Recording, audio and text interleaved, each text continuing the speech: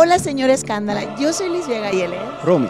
Recibimos la jotaza y aceptamos el reto.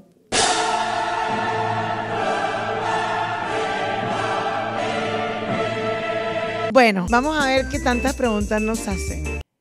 Cántanos el coro de Baby Ben. Ah, a ver, empiezas tú. Solo dice, baby.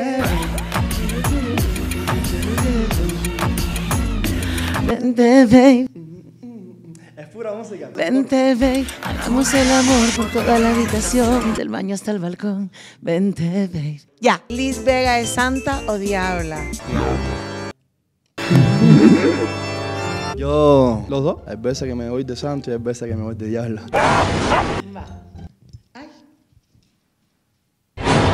El lugar más extraño donde has hecho travesuras con el chacal. ¿Quién es el chacal? Ah, con el chacal, no. con un chavo guapo de estos de, mm, de yuyuy. Ah, este, una cueva.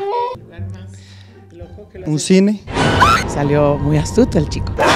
La palabra más sucia que diría Liz Vega en la intimidad. Ay, Dios, es muy fuerte. Es que no puedo decirlo. No, es que es muy fuerte. bueno, papi. Golpéame. Muy astuto el chico. ¿A qué hombre le darías el chiquitongo? ¿Qué es el chiquitongo? ¿Quién es el chacal? ¿A quién le dice Liz Vega, baby, ven? Bueno, pues al mismo. Caballero, si no me van a pedir divorcio. Mi esposo, por supuesto. ¿Qué mujer te mojaría la pantufla? A mí me encantan las mujeres bellas, pero así como para mojarme la pantufla. Mónica Belushi. Los básicos de Liz Vega para hacerla más inventada. Los básicos son la ropa, ¿no? Ah, es que yo estas cosas, bueno, mis reglas básicas para llamar la atención. Pues yo creo que mi sonrisa. Mi, mi sonrisa. mi sonrisa. mi sonrisa. Somos los cariñositos. ¿Ambientosa o oliosa? No, ambientosa. Ser oliosa. No me gustan las liosas, por cierto. ¡Maldita tú! Se compren una vida propia. ¿Qué prefiere Liz Vega? ¿Un chacal cubano o un chacal mexicano?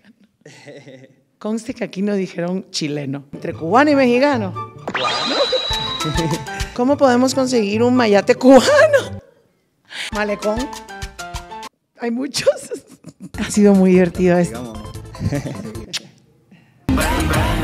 Hagamos el amor por toda la habitación, del baño hasta el balcón.